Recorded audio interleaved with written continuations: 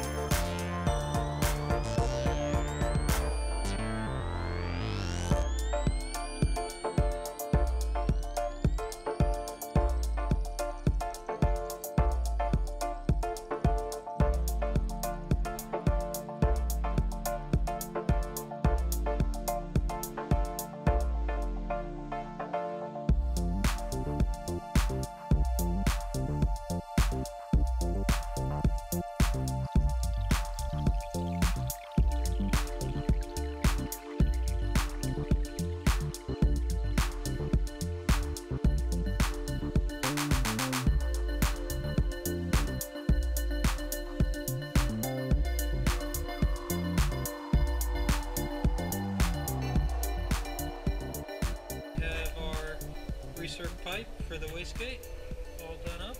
There'll just be a slip fit in there.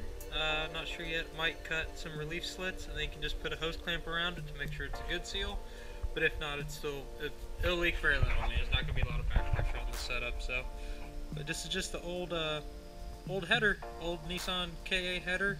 Primaries end up being about right, uh, the right size for it. So I just cut up all the 90s and stuff I could. And got me a nice little, nice little recirc.